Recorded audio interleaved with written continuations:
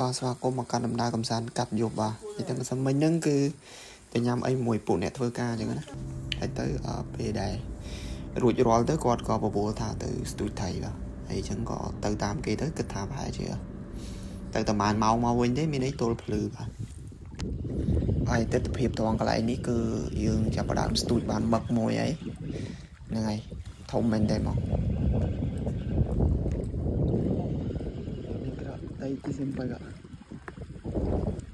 Te cae. Te cae. ゆっくり。ゆっくり。ゆっくり。ゆっくり。しかもじゃねゆっくり。ゆっくり。うわうわ来た来たまさかよ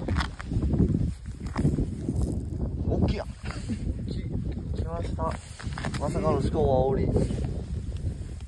持ってきますね。え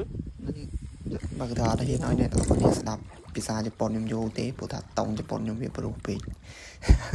ហើយកន្លែងនេះស្ទួយទួយក៏រកឃើញ One Piece ហ៎ហើយទេសភាពថ្ងៃរៀបនឹងរះគឺថាស្អាតមែនទែនដាច់យប់មួយយប់ហ្នឹងគឺទទួលបានទេសភាពដ៏សែន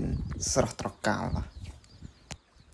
ហើយកន្លែងមើលជុំវិញហ្នឹងគឺកំពង់ផែកន្លែងដែលគេចតទូកចេញទៅនេសាទទៅអីចឹងណាហ្នឹងហើយ ហើយមើលផ្ទះដែលនៅម្ដុំម្ដុំនេះគឺថាអេមមែនទែនបើកភ្នែកមកក៏ឃើញថ្ងៃអាហ្មង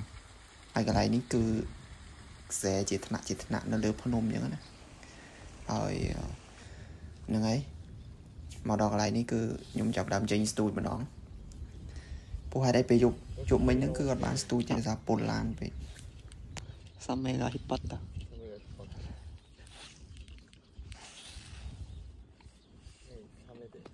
it is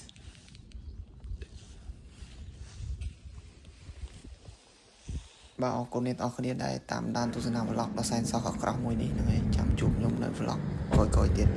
អរគុណបាយបាយជំរាបលា see you later